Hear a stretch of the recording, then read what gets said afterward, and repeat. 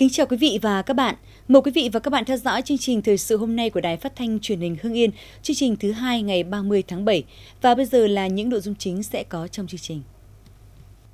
Ủy ban nhân dân tỉnh họp chỉ đạo khắc phục sau vụ cháy chợ gạo thành phố Hưng Yên. Chi cục Hải quan Hưng Yên giải quyết thủ tục hàng hóa xuất nhập khẩu qua mạng tạo thuận lợi cho doanh nghiệp. Điện lực Hưng Yên đẩy mạnh áp dụng công nghệ trong sản xuất và kinh doanh. Ông Vũ Văn Quân, Chủ tịch Hội chữ thập đỏ xã Văn Đình Phùng, huyện Mỹ Hào, nhiệt tình trong công tác hội. Thưa quý vị và các bạn, sáng nay, Ủy ban nhân dân tỉnh đã tổ chức họp bàn việc khắc phục vụ cháy chợ gạo và công ty cổ phần bao bì nhựa Bắc Á trên địa bàn phường An Tảo, thành phố Hưng Yên xảy ra vào tối ngày 25 tháng 7. Đồng chí Nguyễn Văn Phóng, Phó Bí thư tỉnh ủy, Chủ tịch Ủy ban nhân dân tỉnh chủ trì cuộc họp. Sự họp còn có các đồng chí Ủy viên Ban Thường vụ tỉnh ủy, lãnh đạo Ủy ban nhân dân tỉnh, lãnh đạo các sở ngành có liên quan và thành phố Hưng Yên. Theo báo cáo của Ủy ban nhân dân thành phố Hưng Yên, vụ cháy diễn ra vào khoảng 8 giờ 30 phút tối ngày 25 tháng 7 và đến 0 giờ 30 phút ngày 26 tháng 7, đám cháy đã cơ bản được khống chế. Thống kê sơ bộ thiệt hại cho thấy vụ cháy không có thiệt hại về người nhưng đã gây hư hại toàn bộ tài sản của 126 kiosk, 85 sạp bán hàng của chợ gạo, một kho lưu trữ thành phẩm, hai máy sản xuất màng căng co, một xe nâng điện của công ty cổ phần bao bì nhựa Bắc Á. Ngoài ra, vụ cháy cũng gây ảnh hưởng và thiệt hại về tài sản công trình cho 6 hộ dân xung quanh chợ gạo. Phát biểu tại hội nghị, Chủ tịch Ủy ban Nhân dân tỉnh Nguyễn Văn Phóng chia sẻ những mất mát thiệt hại với các tiểu thương kinh doanh tại chợ gạo và công ty nhựa Hưng Yên. Đồng chí ghi nhận sự lãnh đạo chỉ đạo tham gia chữa cháy của các lực lượng công an, quân đội, chính quyền các cấp của thành phố và nhân dân đã tích cực tham gia chữa cháy, hạn chế thiệt hại về tài sản và bảo đảm an toàn tính mạng người dân.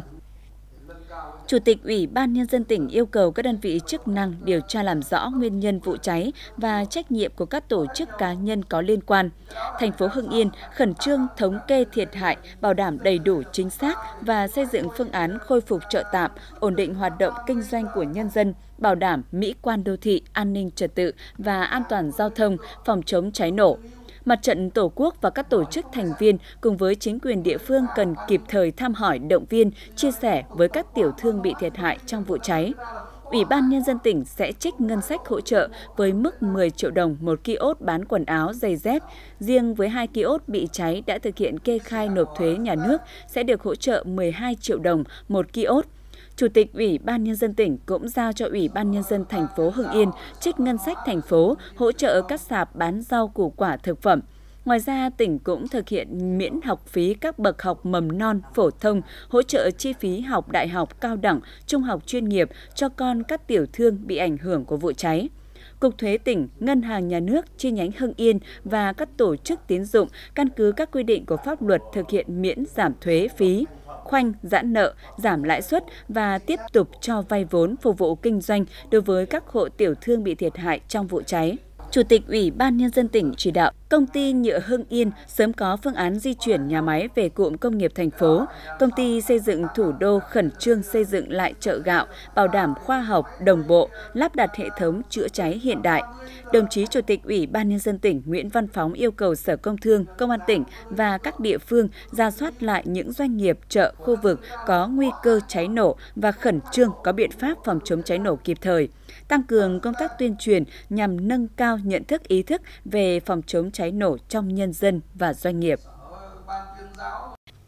Từ nhiều năm nay, Chi cục Hải quan Hưng Yên thực hiện hải quan điện tử, các doanh nghiệp cá nhân hoàn thiện tờ khai hải quan ngay tại doanh nghiệp, đơn vị mình thông qua mạng Internet, tạo thuận lợi cho doanh nghiệp nắm bắt cơ hội sản xuất kinh doanh. Thay vì phải đến trực tiếp nhiều lần trụ sở Chi cục Hải quan để hoàn thiện tờ khai hàng hóa như trước kia, thì nay doanh nghiệp có thể ngồi ngay tại trụ sở công ty của mình để hoàn thiện các tờ khai hải quan theo quy định. Đây là kết quả của việc thực hiện hải quan điện tử mà Chi cục Hải quan Hương Yên đã áp dụng từ năm 2014 và là một trong những chi cục thực hiện hải quan điện tử tốt nhất so với các chi cục khác thuộc Cục Hải quan Hải Phòng. Thông qua phần mềm do Nhật Bản hỗ trợ, tờ khai của doanh nghiệp gửi về được tự động phân luồng. Ở mức luồng xanh, tức thời gian giải quyết thủ tục hoàn thành tính bằng giây, luồng vàng tức thời gian giải quyết thủ tục mất 7 phút, luồng đỏ, tức thời gian giải quyết thủ tục hoàn thiện kết thúc trong ngày. Nó tạo được ra rất nhiều cái thuận lợi. Thuận lợi thứ nhất cho doanh nghiệp là tiết kiệm được rất nhiều cái quỹ về mặt thời gian để giải quyết đối với cái lô hàng hóa nhập khẩu. Thứ hai là khi hàng hóa mà kịp thời được giải quyết, ví dụ như những cái doanh nghiệp sản xuất sản xuất thì đối với nguyên vật liệu đã đưa được về nhà máy thì kịp thời thì sẽ không bị coi như là trễ lại trong quá trình sản xuất hàng hóa. Thứ hai đối với những cái doanh nghiệp ờ, kinh doanh giải quyết được cái việc thông quan được tạo được cái vòng quay của cái nguồn vốn nó nhanh và nó gọn cho người ta tức là tạo đà cho cái quá trình kinh doanh người ta phát triển. Kết quả này không chỉ giúp doanh nghiệp thuận lợi và nhanh chóng thông quan hàng hóa xuất nhập khẩu, nắm bắt cơ hội kinh doanh mà còn giúp thúc đẩy thu thuế hải quan. Năm 2017, Chi cục Hải quan Hưng Yên thu thuế hải quan đạt gần 3.400 tỷ đồng, 6 tháng đầu năm 2018 đạt trên 1.500 tỷ đồng. Những ngày vừa qua, người dân xã Minh Hải, huyện Văn Lâm rất bức xúc về tình trạng một số doanh nghiệp trên địa bàn xả thải gây chết gần 5 hecta lúa của bà con nông dân. Các diện tích lúa chết tập trung chủ yếu ở thôn Ao, thôn Hoàng Nha và thôn Khách. Đây không phải là lần đầu mà đã nhiều lần nước thải từ các doanh nghiệp ở xã Minh Hải xả thải làm lúa bị chết. Những ngày qua, mặc dù người dân đã gieo cấy lại những diện tích lúa bị chết để cho kịp thời vụ, nhưng nước thải từ doanh nghiệp Hồng Hải chưa qua xử lý vẫn tiếp tục xả ra kênh chính rồi tràn vào cánh đồng, tiếp tục gây ra tình trạng lúa chết hàng loạt. Trước tình hình trên, Ủy ban nhân dân xã Minh Hải và đoàn công tác Ủy ban nhân dân huyện Văn Lâm đã về kiểm tra và lập biên bản đề nghị công ty Hồng Hải dừng sản xuất nhưng thực tế qua ghi nhận công ty vẫn sản xuất và tiếp tục xả thải gây ô nhiễm môi trường. Do chăn nuôi với số lượng lớn, ngay trong khu dân cư lại chưa có biện pháp để xử lý môi trường một cách triệt để, nên xã Phú Cường, thành phố Hưng Yên bị ô nhiễm nghiêm trọng. Chăn nuôi bò thịt là hướng phát triển đem lại hiệu quả kinh tế cao hơn nhiều so với các loại vật nuôi khác, nên những năm gần đây, các hộ dân trên địa bàn xã Phú Cường, thành phố Hưng Yên đã đầu tư và phát triển mạnh mô hình chăn nuôi này. Tuy nhiên điều đáng nói là 100% các hộ đều làm chuồng trại tại gia đình. Điển hình như gia đình bà Lê Thị Lệ, thôn Tân Mỹ 2, nuôi 22 con bò thịt. Mặc dù gia đình có xử lý chất thải chăn nuôi qua hệ thống hầm bioga, song do chăn nuôi với số lượng lớn nên chất thải vẫn được thải trực tiếp ra ngoài. Chăn nuôi ở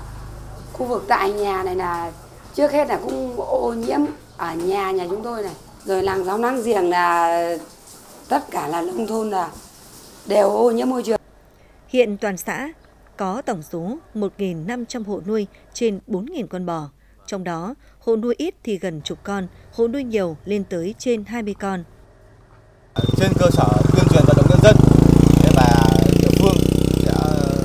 sẽ đề nghị trên hỗ trợ kinh phí và cùng với địa phương để là xây dựng khu mà chuyên xử lý rác thải ờ, của địa phương nước và chất thải của bò thải ra cống rãnh, khu dân cư làm ô nhiễm môi trường nghiêm trọng. Tuy nhiên, đó cũng chỉ là giải pháp tạm thời. Để bảo vệ sức khỏe của bản thân, gia đình, người chăn nuôi cần nâng cao ý thức giữ gìn vệ sinh môi trường trong và ngoài khu vực chăn nuôi. Đặc biệt là chính quyền địa phương và ngành chức năng cần vào cuộc tìm giải pháp giải quyết hiệu quả thực trạng ô nhiễm trên.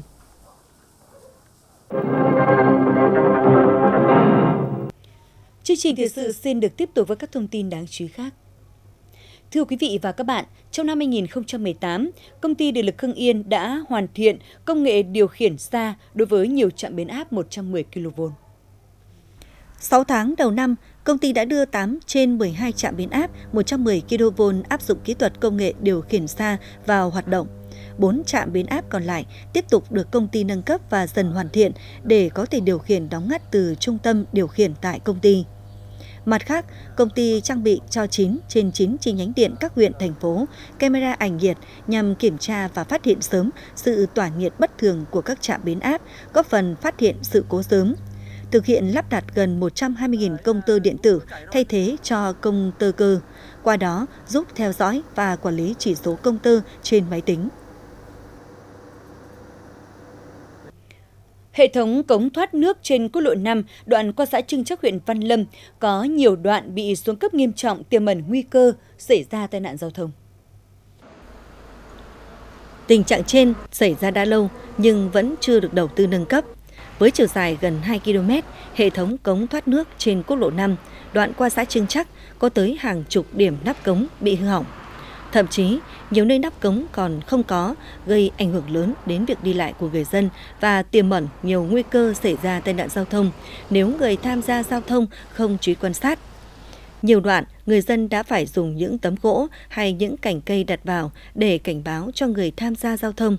Tuy nhiên, đã có nhiều phương tiện bị ngã khi đi qua những khu vực trên.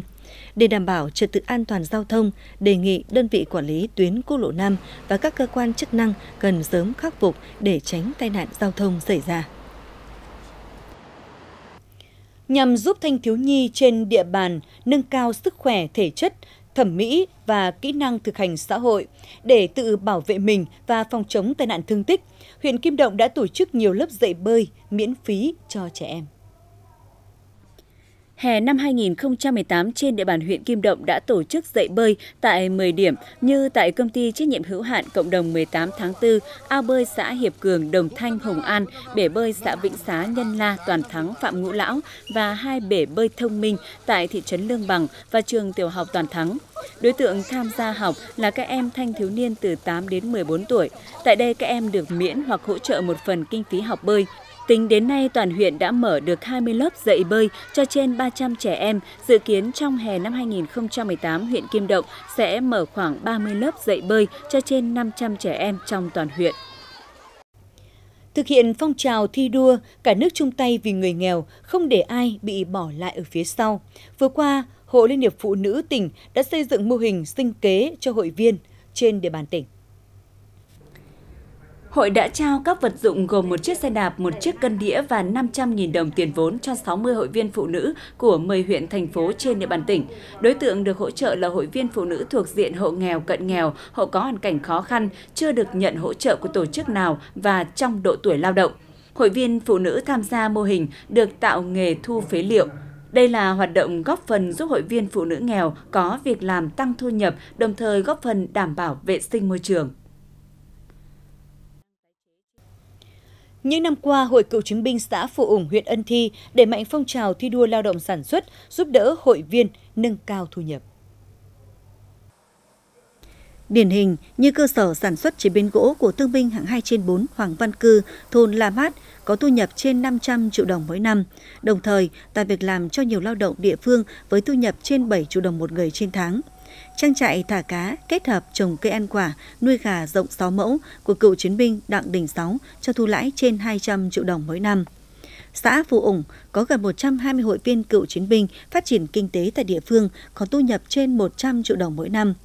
Có được kết quả như vậy là nhờ tinh thần đoàn kết giữa các hội viên sử dụng hiệu quả các nguồn vốn vay ưu đãi, liên kết thành lập hợp tác xã nhằm chia sẻ hỗ trợ lẫn nhau về kỹ thuật sản xuất và tiêu thụ sản phẩm.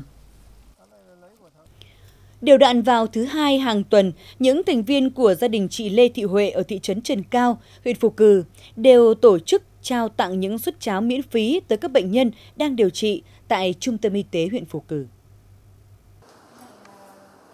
Xuất phát từ mong muốn được đóng góp, chia sẻ nỗi đau khó khăn tới các bệnh nhân đang phải điều trị tại trung tâm, Cuối năm 2017, chị Huệ và các thành viên trong gia đình cùng những người dân địa phương đã thành lập nồi cháo thiện nguyện Nam Hải.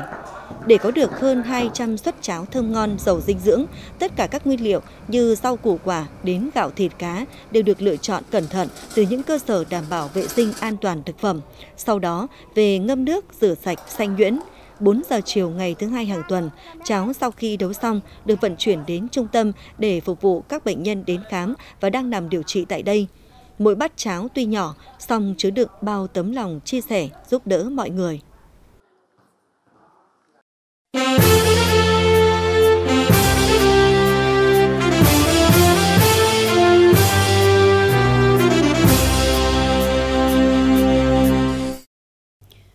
Thưa quý vị và các bạn, 15 năm gắn bó với công tác chữ thập đỏ, ông Vũ Văn Quân, Chủ tịch Hội chữ thập đỏ xã Phan Đình Phùng, huyện Mỹ Hào luôn nhiệt tình trong công việc, tích cực tham gia hiến máu tình nguyện và là một tấm gương sáng trong phong trào chữ thập đỏ của địa phương. Tuy gia đình ông Quân có hoàn cảnh khó khăn, vợ ông là bà Nguyễn Thị Lĩnh bị u lympho không làm được gì, con gái ông là em Vũ Lan Hương bị bệnh đau bẩm sinh.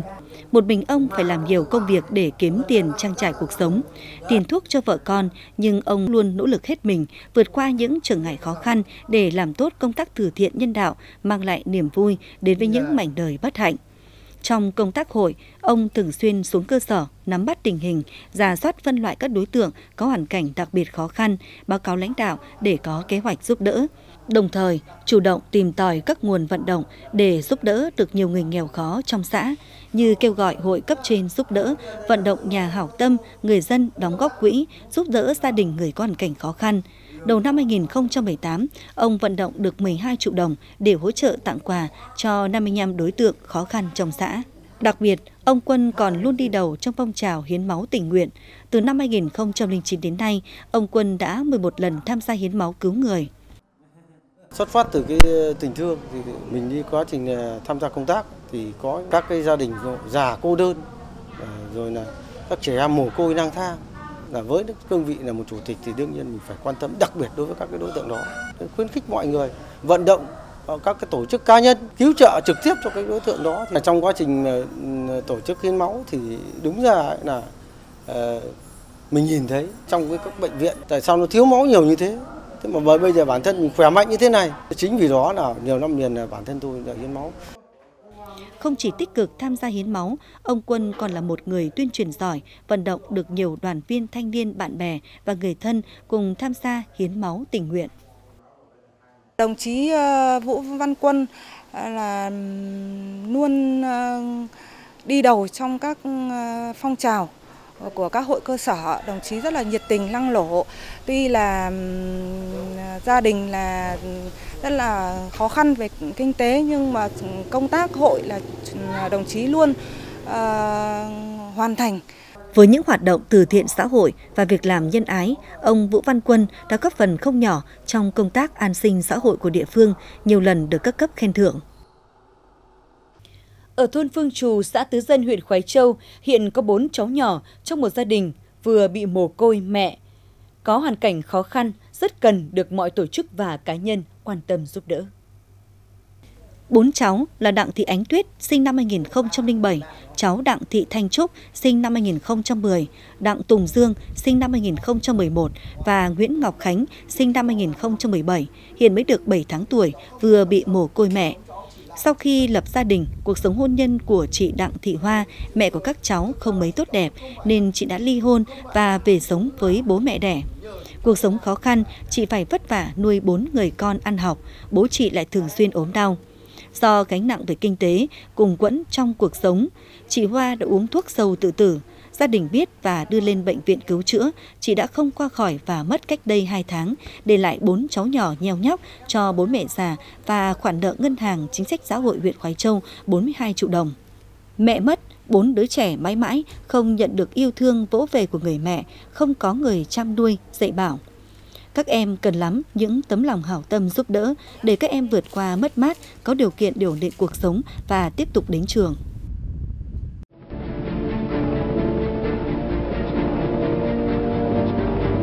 Chiến tranh đã qua đi, nhưng còn hàng trăm ngàn người nhiễm chất độc da cam dioxin tồn tại. Họ mang trong mình những căn bệnh quái ác, hình dạng cơ thể bất thường. Hiện nay, đã phát hiện thế hệ thứ tư di chứng chất độc da cam rất thương tâm. Hãy chung tay bằng cách soạn tin da cam gửi 1409 để hỗ trợ 18.000 đồng giúp chăm sóc sức khỏe, chữa bệnh cho nạn nhân nhiễm chất độc da cam dioxin tại Việt Nam.